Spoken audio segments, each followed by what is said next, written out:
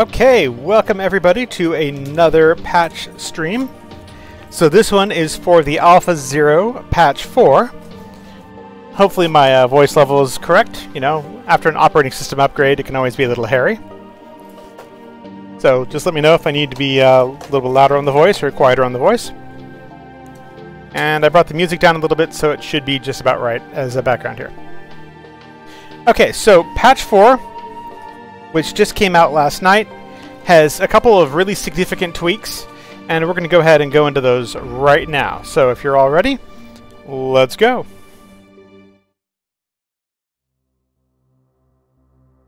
So let's see, let's go ahead and build us a ship in the ship chooser here. Actually, how about how about the Spectre? That one's fun. So the Spectre has no con, so just that one is fine. It just uses the default. It's got the default engines. And then let's go with something that's bright and easy to show up on screen, like the orange. There's a bunch of other really cool colors, but I think the orange and the red show up best on stream. So how about the red? Yeah. And then here we go. Ah, thanks, Sten. I appreciate that. That is good feedback. Okay, so I've updated the uh, the information here on the left a little bit because we've changed some of the controls. We've added a few little things We've got the D-pad control, for example, is now is now mentioned there specifically. So if you have a controller plugged in, you know you've got the uh, the controller controls for the gamepad. So in this patch, the main things that have been changed. I've done more work on the interior cockpits to get the uh, the view distance and the draw distance a little bit better. Sorry, I should smooth that out a little bit. So the thing that we're working with with the near plane and the far plane is to make sure that the controls here are nice and sharp and don't get clipped, but to reduce that little flickering that you see there on the planet and on the station. Those require slightly different plane settings, and they've been a little bit tricky to get right. For example, in this view, you know, there's no flicker. But on the other view, there's a little bit. And we're getting that better in each patch as I, as I fine-tune things a little bit. So let's go ahead and move on in, and we will take a look at the second major thing. Because obviously you can see the asteroids here. Got the new asteroid belt in place. Uh, the asteroid belt's going to get a little thicker, but not a lot thicker. This planet isn't supposed to be difficult to navigate around. Welcome! I'm so happy to see you here, Le de Joule Linux. So for those that don't know uh, uh, Le Bottin des Jeux Linux, they keep a great collection of games and applications that are available on Linux on their website, which is hosted on the TuxFamily set. And they have a huge collection of all kinds of software that's available for Linux up there. And they have done a wonderful job of, you know, keeping up with the stuff that we have on ours. And I am very grateful for that.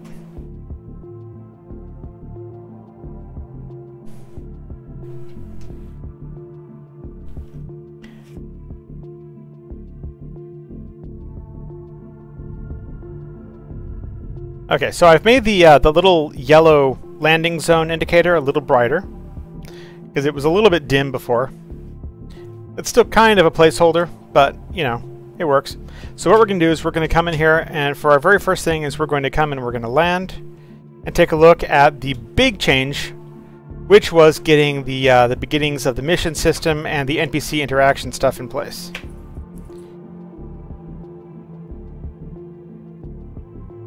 And so we're going to come land in here.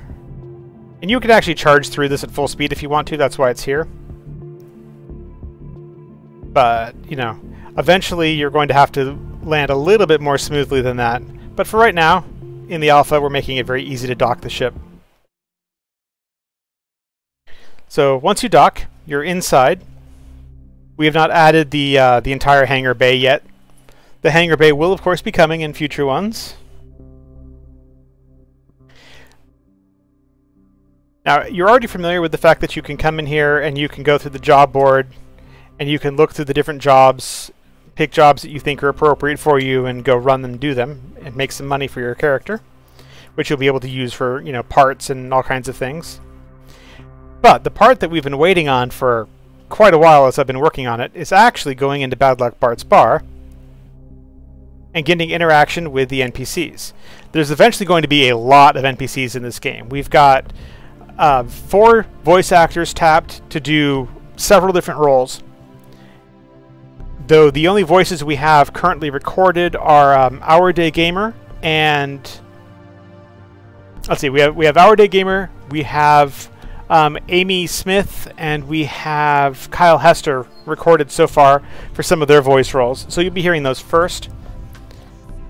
But more will be joining as we go along.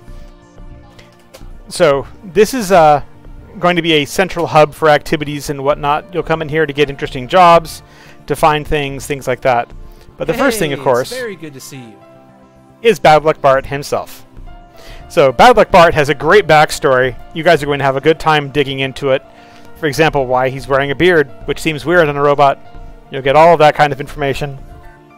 Whether you're new to the Smignus Galaxy or not, it's all going to be in here. So right now, you can see the interaction system is starting. So he's telling you about the uh, the bar fight that's going on. And you can simply choose from the items that you want. This is navigable with both gamepad and mouse keyboard. So you can use the up-down arrows on your keyboard, you can click on them with the mouse, or you can use the uh, the D-pad up-down characters to move between them. And then you just pick the one that you like. Big old fight, a real genuine slobber knocker. And you just progress through them by using the check mark. And as you can see, there's a whole story that's going on here. I'm closed for business right now.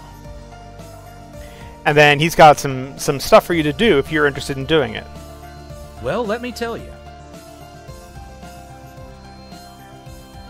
So as you can see, their resupply cargo ship was hit by debris from the bar fight that rolled out into space. So there's inventory floating around, and you can't get to it before the station's automated defense system destroys what they paid for. So this is an opportunity for the player to go out there and collect that stuff. This mission is still work in progress, so See you can accept it or not accept it. It Thanks doesn't matter yet. by. I'm still working on that next piece.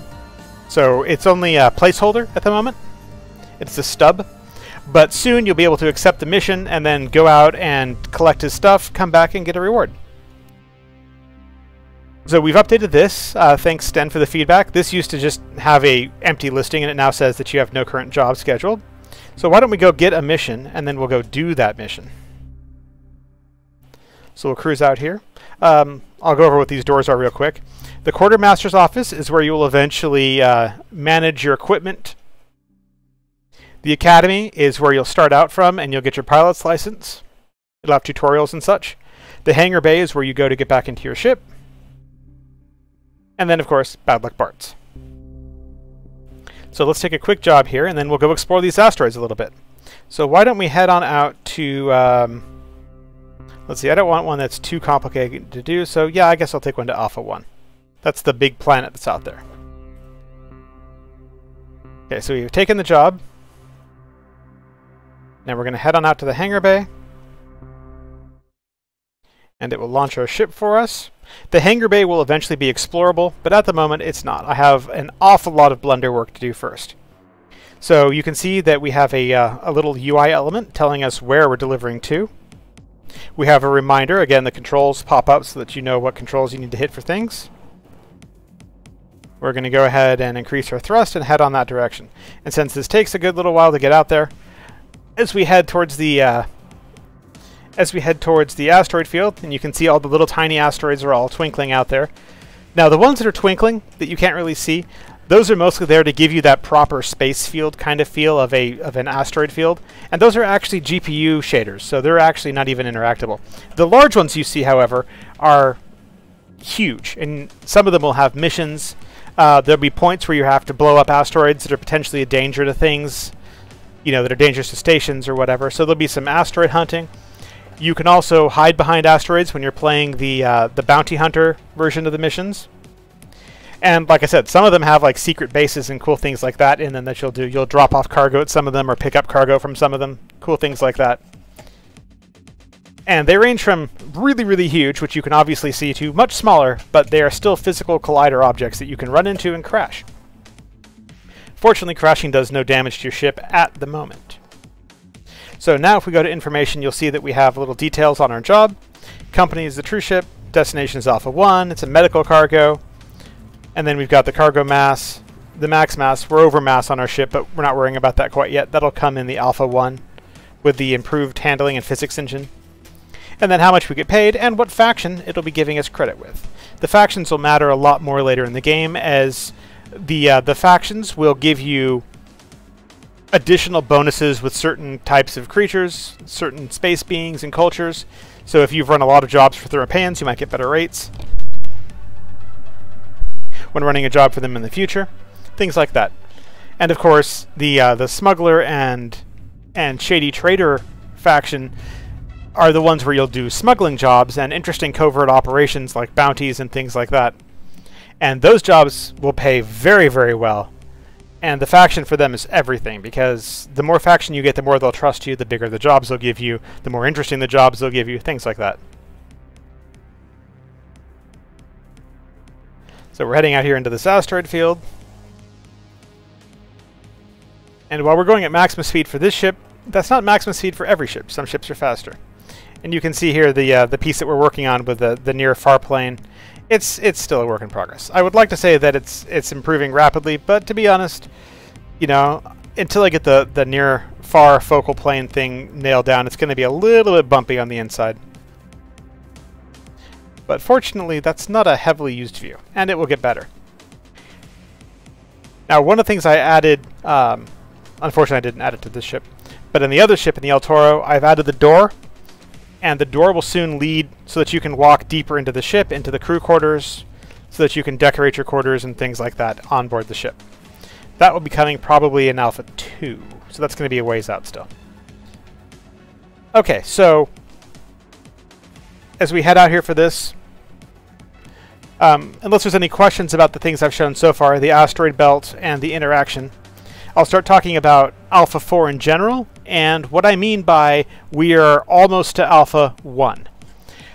So patch 4 on Alpha 0 that we're at right now, let's go check out one of these asteroids while we're flying past it. Uh, this is probably the last patch on the Alpha 0 set. So Alpha 0 was going from the very first proof of concept of the game for people who've been backing it since the beginning, who got to see and experience and get their feedback into what the ships looked like, what it handled like, how it moved. You know, what things were important to them, you know, how the cameras worked, things like that.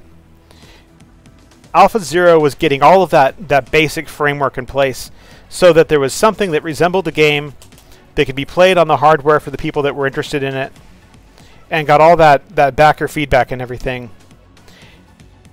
And Alpha Zero will end as soon as the first missions are playable you can already take and do cargo. That was that was the first important part of Alpha. But the second part, see, and here's a, a solid asteroid that I've run into. And as you can see, it does not destroy me, but it does stop me and I can't go any further.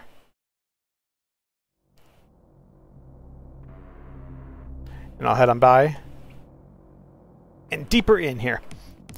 So that was the first thing that we needed to get done. So we're approaching the end of the Alpha Zero, and once the missions can be, uh, once you can actually complete the first mission from Bad Luck Bart, we will be at the point where shipping, missions, and ship customization all work. They all exist, even though they're, you know, not full. They're not a lot of content to them, but they work.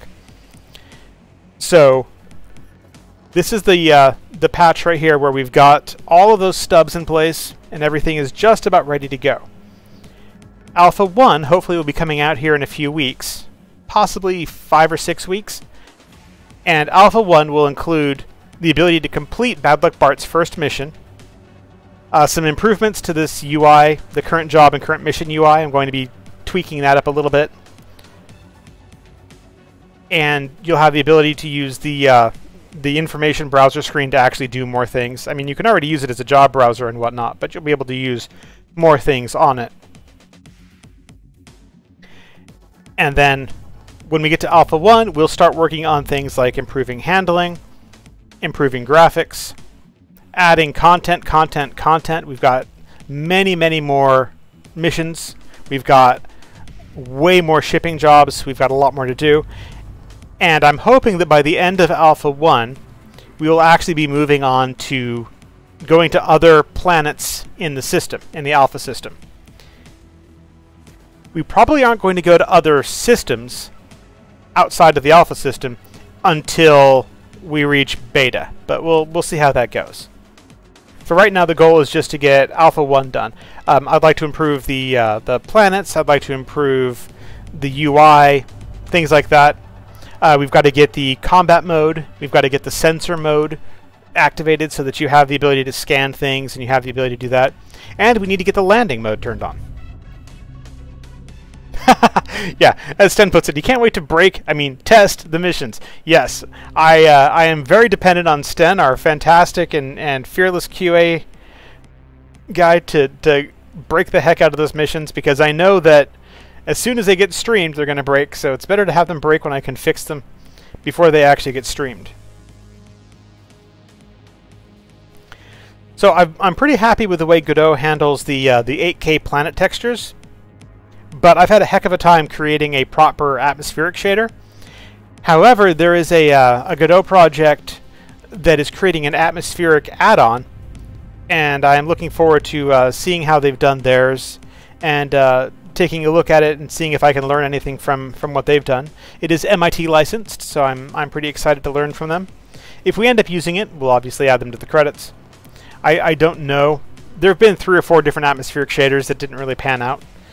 But, you know, we'll, we'll credit people when, when we actually are able to use any of the stuff that they produce.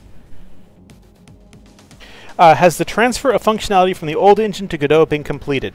Uh, that is a good question. We're probably 80% transferred. The things that are remaining that were on Unreal that have not yet come across, uh, we don't have the ability to land on planets yet. That was uh, something that I had just gotten working in Unreal and I had not gotten it working here yet. That'll be in Alpha 1. And the, uh, the scanner mode from Unreal did not work properly, but it was there. So that will be coming over to Godot here shortly, but in a slightly different form. And the other thing that we had in Godot, that, or that we had in Unreal that has not made it to Godot yet, is the uh, the ability to upgrade your ship at the uh, station, and that will be coming here shortly. I, I ended up moving it to a different location, to a ship chooser before you start, and the quartermaster's office will be coming online, and it will be that, that last piece of functionality. And then the only piece that will be missing from Unreal will be particle shaders, because I have not yet learned how to do particles in Godot. That will be a, that will be a big thing I need to learn. So, short answer, about 80%. Long answer, yeah, I mean, there's there's a few specific things. So we're almost to our delivery area. The uh, the giant red sphere obviously denotes our uh, delivery zone, and as soon as we cross into the giant red sphere, our delivery is considered complete. We have dropped off our package and can move on.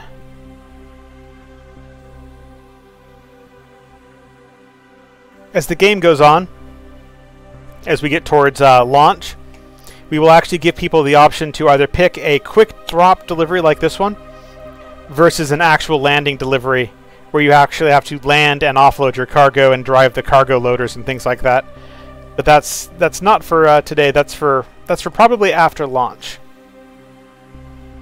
Because there's a lot of content that I want to add before we worry about that kind of stuff. There we go. Delivery completed. 2,000 credits added. We will head on off from this planet here.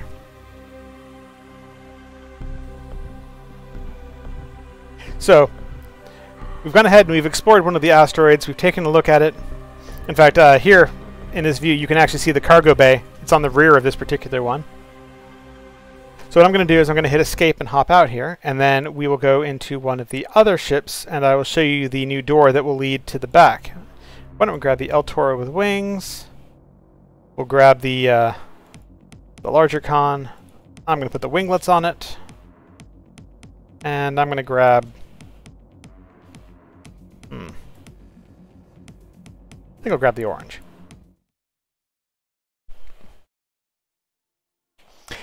Uh, um, let's see. Uh, Le de Jour Linux asks, will we be able to land on a planet soon? Yes, that should be coming very soon. That is actually second on my to-do list. So first on my to-do list at the moment is the uh, finishing Bad Luck Bart's mission. And second on my to-do list is adding the planets, so that you can actually land on the planet and so that you can land on the moon. Both of those things are really, really critical to me, so I'm going to have those up soon. We're going to aim for like a Destiny planet landing. So you'll basically fly up to the planet, and then as you break the uh, the zone for the planet to be the atmospheric zone, you'll have an option to choose to land, and it will then have a cutscene basically like that one, where it'll then put you into the atmosphere and you'll be able to fly around on a zone on the planet. Uh, the reason for that, as opposed to you know going, for example, with a fully interactable planet, is it can be really hard if I'm actually making the planets even a modest scale to find things. And I really don't want people to be completely lost looking around for where they're supposed to deliver stuff. So back here, we've got the uh, the crew quarters. Let me move so I'm not getting ray trace lines from the, uh, the station causing stray lighting. Okay, so there you go. You can see the hatch that will lead into the crew quarters of the ship. That's the second portion of the ship right here. And the uh, crew quarters actually sit below the piloting area. So this one doesn't have very tall berths, but it does have berths, and those will eventually be customizable as well. Ah, thank you.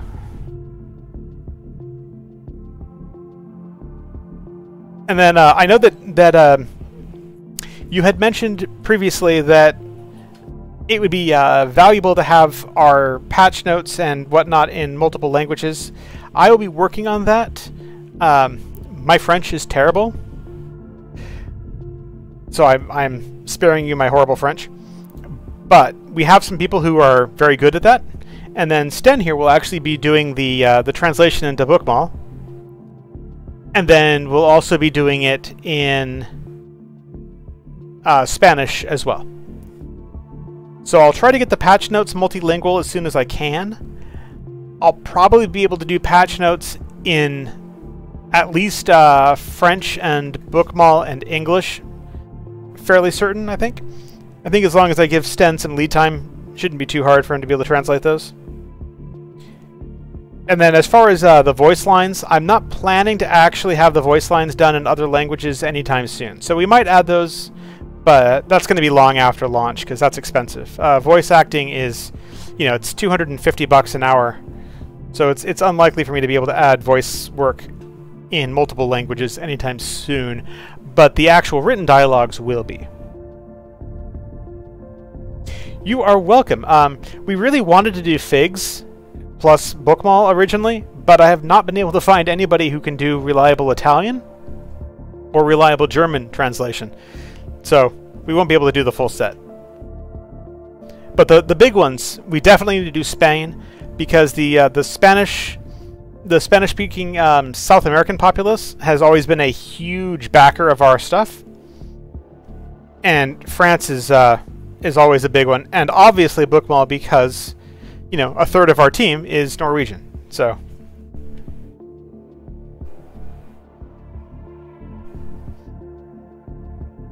And as you can see, the ray tracing looks pretty freaking good.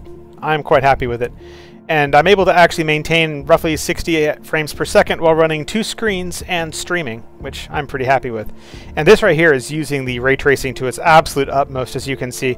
We're casting rays from our engines and everything all over the place. In fact, if we kick up the engines a little harder, You'll actually see the blue light from the engines bouncing off the uh, the sides of things here, see?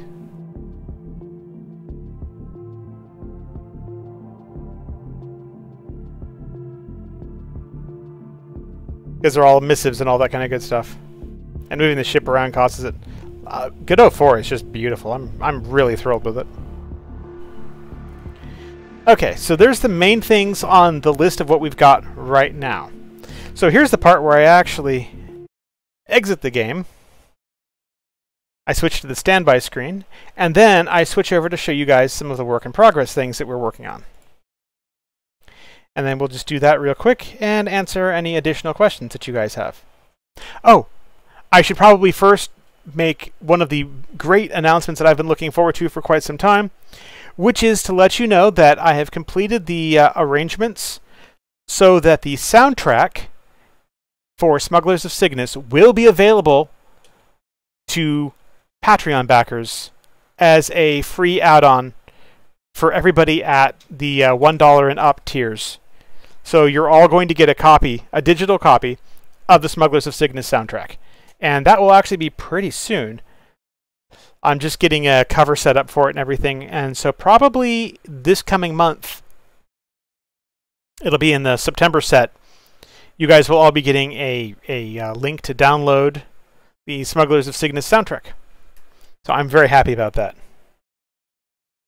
Yes, it would be lovely to get Portuguese, and welcome, Jess. If I can find somebody who is a, uh, a reliable translator for Portuguese, we will definitely get Portuguese. Because Brazilians are also huge, huge sci-fi folks, and some of our our um, our biggest sales of uh, Cygnus Pizza Race were actually in Brazil. All right, let me see. Let me bring up one of the scenes that I specifically hoped to show you guys.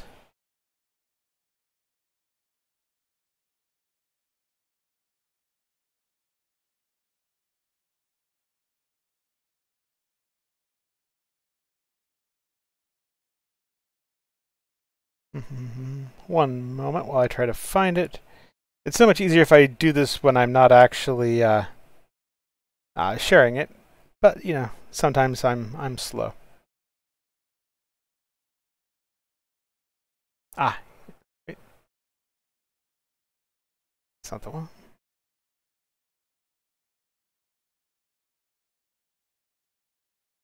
Ah, here we go. Okay, let me go ahead and share this scene, and then let me switch to the correct window. There we go. Okay, now let me just size this.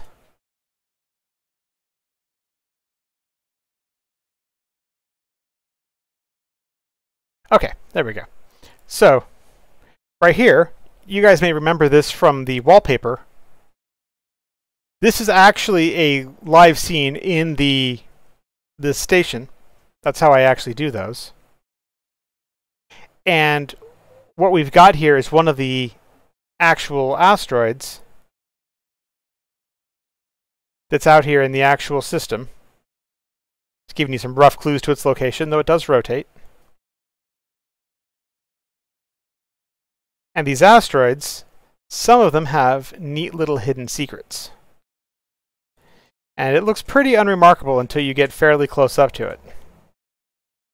As you can see. So, there will certainly be missions where you guys will be, uh, where you guys will be going out here and visiting some of these on occasion. So, I hope folks are looking forward to doing a little bit of exploration, because I plan to have more than a little in the way of, of cool hidden stuff and um, places to visit and, and check out as time goes on in the game. There'll be so many, you know, little smuggling dens and things like that. You know, because that's that's really what people like about a game like Smugglers is going out there and you know going to the interesting places.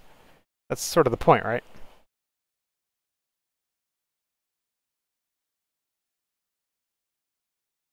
So there's going to be a number of those. And then we've also got, of course, let me see if I can zoom out far enough so you can see it properly. We've also got, of course, the actual station itself, and there will be more stuff to do to explore the station, running around inside of it, going and checking out more cool things, and things like that coming as well. So there's there's a lot of detail and a lot of things and places to go all throughout the entire system. One of the things that I'm looking forward to most to sharing with you guys is actually going and seeing the different stations, because this isn't the only station. We've actually got quite a few. And let me go ahead and bring up a picture of that real quick. Oh, I think the easiest way for me to do that is actually to bring it up on the browser because it is in the current work in progress.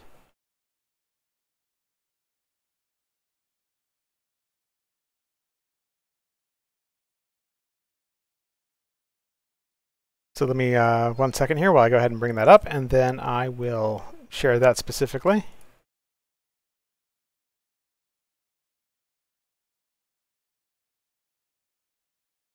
Talking about the future stuff, I always fall off the rails a little bit. I apologize for that.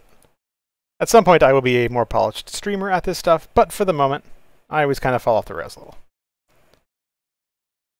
Okay, so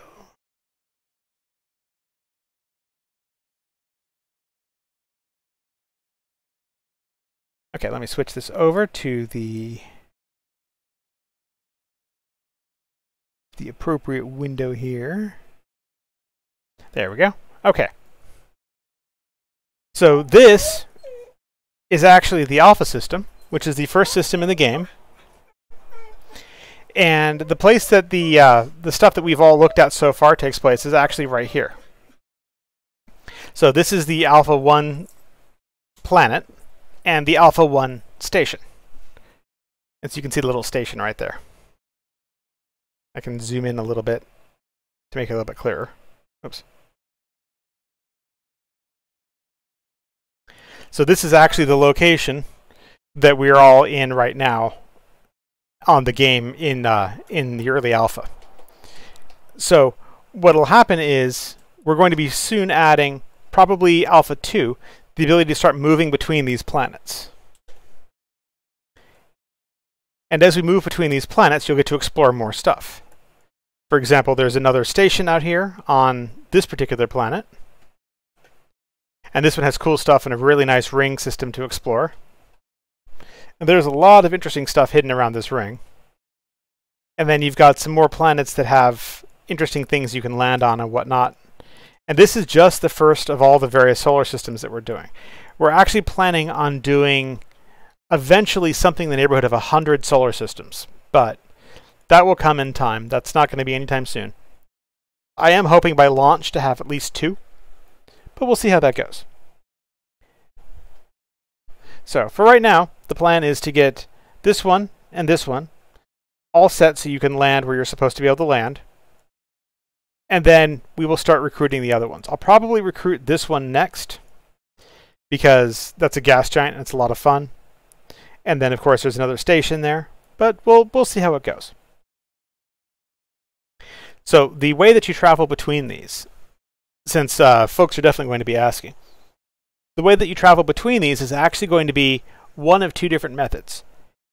You can either do what we call a jump, and that's your, your typical sci-fi magic jump, where you go from one place to another place.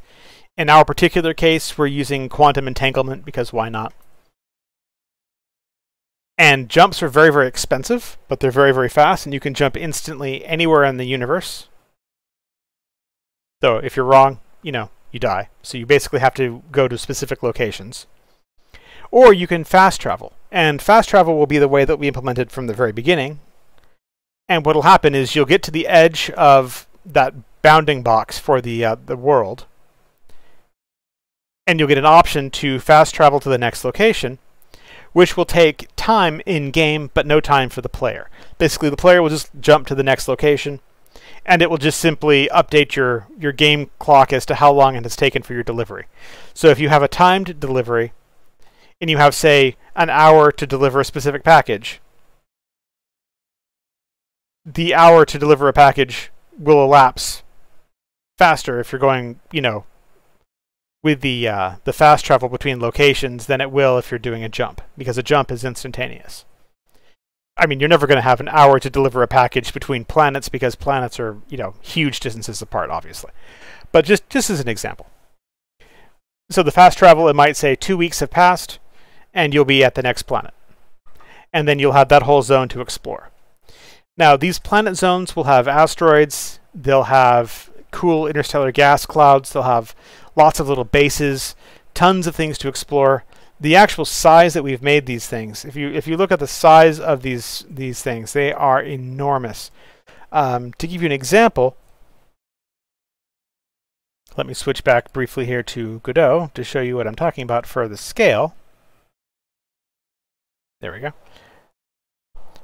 If you look at how far away the station is, station's at the zero point, to the Alpha 1 planet that's right there, it is 90 kilometers in actual Godot metrics. And that is unbelievably big, and the actual map is roughly a hundred cubic, uh, hundred cubic kilometers in size. So you can actually have a really big space to screw around in.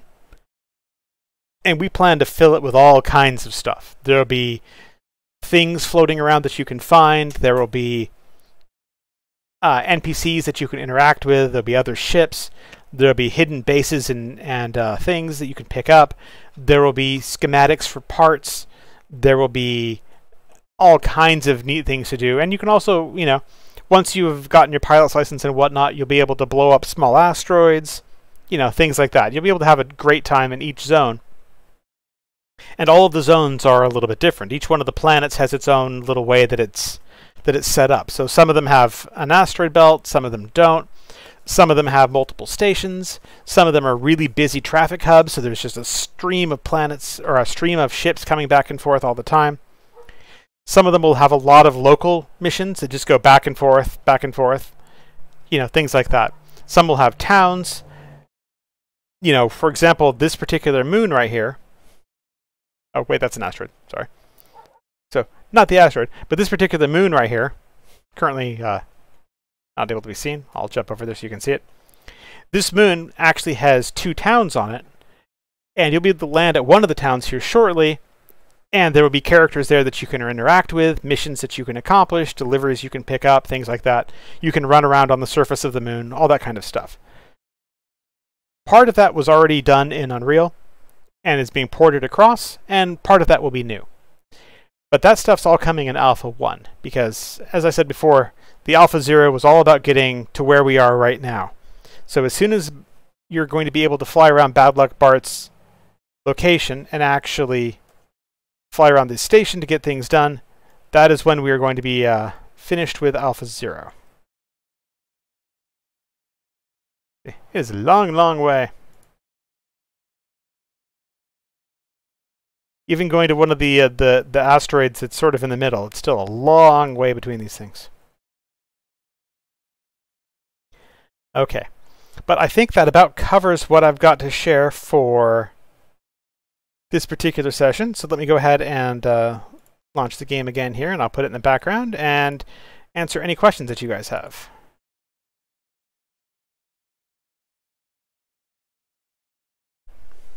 Let me make sure that the uh, the game is up. Okay, and it is. All right. So let me check and see if there's any questions anyone has. Okay, um, other ships with IAS. Um, I'm not sure what IAS is. There will be a variety of different ships that you can pick from, and there will be other ships. There will be other ships in the world that you can uh, that you can interact with. There will be both computer piloted ships, like you know, um, I hate to use the term AI, but you know, basically simplistic AI ships that are just other people flying, or just you know computer programs flying ships around. There will be ships with with uh, NPCs flying them that are worth making friends with, NPCs who have missions and quests for you. Whether we're going to have multiple players, we hope so. We hope to have multiplayer. That proved to be the biggest stumbling block with Unreal, and I can't promise how it's going to go with Godot. It's not going to be in the alpha, though. But multiplayer is something we would very much like to accomplish. But I, like I said, I, I already, I, I overstepped with the multiplayer in Unreal, and it ended up being a giant problem. So I, I want to get the game delivered before I, I try to reattach that, or reattack that problem in Godot. but yes, there will be a lot of ships you can interact with. There'll be ships you can upgrade to. There'll be new models, all kinds of things like that. Um, I'm currently working on at least three more models of ships, from the Commodore ships, which are absolutely enormous, to the uh, the other player ships that are you know much more reasonable sized, and of course the stealth ships. And there will be you know some ships that you can earn by doing missions, some ships you'll be able to just buy, some ships are only available from certain locations, and some ships will be made from things that you find. Oh yeah, yeah. As far as animated, yes, There will absolutely be things like that.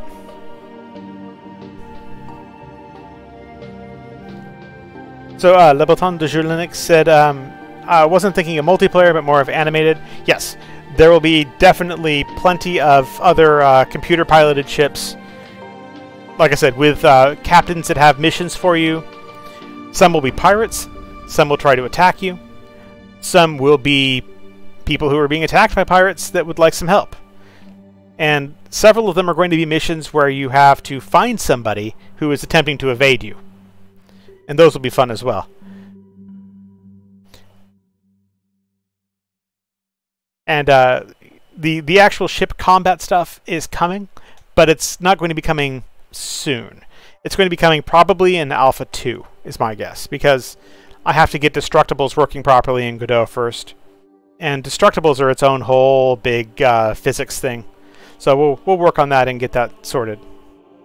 You are welcome. Okay, um, let's see. I think that covers pretty much everything. So I'm going to go ahead and prepare to wrap up here. If anyone has any other questions, by all means, go ahead and ask them. And I will try to get to them as soon as I can. I will give it a minute here while uh, the stream lag catches up. Ah, when will the next planet be accessible? Uh, the next planet should be accessible sometime during Alpha 1, so probably in the next three to four patches. But the first planet that you can land on should be coming up here soon. I'm actually working on uh, making the moon landable at the moment. So I'm hoping to have the ability to land on the moon and visit locations on that moon there within the next, like, you know, few weeks. It will depend. The landscape, uh, the landscape tool for Godot is a bit more complicated than I was expecting it to be. So it, it put me behind a little bit there. So you should be able to land on the moon and do deliveries directly to the surface of the moon actually very soon. Hopefully next patch. But traveling between planets, that'll be that'll be still a little bit before we get there.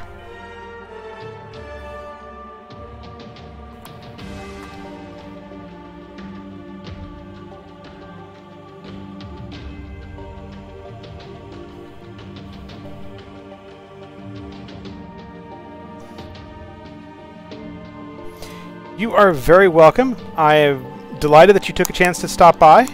I know that the uh, the timing is odd for you folks who are on the uh, the European side of the planet right now. So I appreciate you and Sten for dropping by. Thank you so much. And I look forward to uh, to sharing more updates with you guys. And uh, I look forward to adding the new stuff to the Patreon here. There's going to be obviously a wallpaper, another chapter of the new story Audotria, and uh, the soundtrack should be up there as well this month. So anybody who's backing for $1 a month or higher will have access to the soundtrack and the wallpaper. And then um, the Audotria story, of course, is at the $8 and up tiers. The uh, first book, Final Lap, is almost done being edited, and I should have the ebook for that probably next month. And then everybody on the Patreon will get a copy of the ebook from the first book, Final Lap, all about our plucky little space heroine, the adorable space otter, and racing in Cygnus Pizza Race. So thank you all so very much for being here. You are fantastic, and you are very appreciated. Thank you for backing indie games. And I'm I'm so happy that so many people who are involved in Linux are part of this project because this is a very Linux first project. So thanks everyone. Have a wonderful weekend,